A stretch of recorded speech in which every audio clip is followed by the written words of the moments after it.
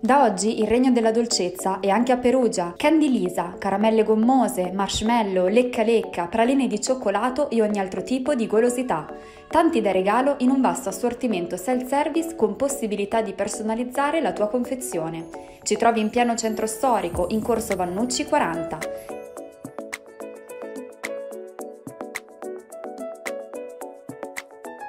Candy Lisa, il posto giusto per tornare bambini o per sognare di diventare dei supereroi.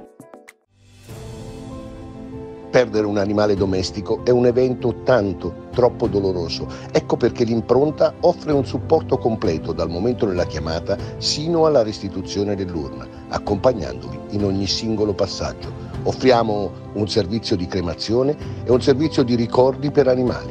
L'impronta la trovi a Selcilama, in via del Fiume 10, telefono 333 65 08 082. Zanelli e Celeschi.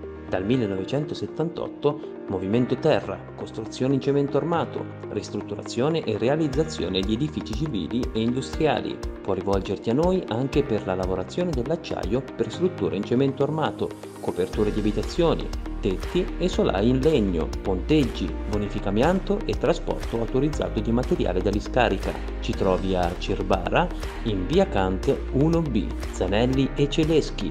Qualità e sicurezza, mattone dopo mattone. Il Pierantonio ha calato il Tris al Polchi Laurenzi aggiudicandosi la delicata sfida contro i padroni di casa dell'Ama valevole per la ventitresima giornata del campionato di eccellenza. Un KO, il terzo consecutivo ed il tredicesimo stagionale che allunga la crisi della formazione di Caporali, ora penultima a quota 18 punti. I biancazzurri di Bruni invece si sono portati a quota 33, riscattando i due KO consecutivi ed ottenendo il decimo successo stagionale. Dopo 18 minuti di grande equilibrio, il Pier Antonio sblocca la partita quando Salis scappa via sulla destra e poi serve al centro Cesarini, il cui primo tentativo viene stoppato da Ferri, ma il numero 11 ospite torna sul pallone e lo spedisce in fondo al sacco per la rete che vale l'1-0. Il Lama reagisce dopo 4 minuti con questo destro di Braccalenti dai 20 metri che però finisce sul fondo. Il numero 9 bianconero va a centimetri dalla rete del pareggio al minuto 26 quando raccoglie l'assist d'esterno di Bartocini fine calcia ma la sua conclusione sbatte contro l'incrocio dei pali. Tre minuti più tardi ancora Braccalenti a rendersi pericoloso, ma la sponda aerea di Petricci non è precisa e Le Pierantonio si salva. Così le due squadre rientrano negli spogliatoi con i biancazzurri avanti 1-0 sul Lama. Nella ripresa non rientra in campo Cappellacci, costretto al cambio per un problema fisico al suo posto dentro Laurenzi, con Petricci che scala a fare il difensore centrale. Dopo un solo giro di lancette dall'inizio del secondo tempo, Zandrini viene impegnato così dal tiro cross dalla destra di Ferri, ma dall'altra parte al 51esimo il Pierantonio trova il raddoppio con Morlandi che sulle corner dalla destra calciato da Polidori salta più in alto di tutti e trova l'angolino, palla in rete e ospiti avanti 2-0. A questo punto il Lama non riesce ad abbozzare una reazione e al 77esimo ci vuole un grande intervento di Bernardini per negare la doppietta a Morlandi. Quattro minuti più tardi viene espulso l'allenatore delle Pierantonio Giacomo Bruni per proteste.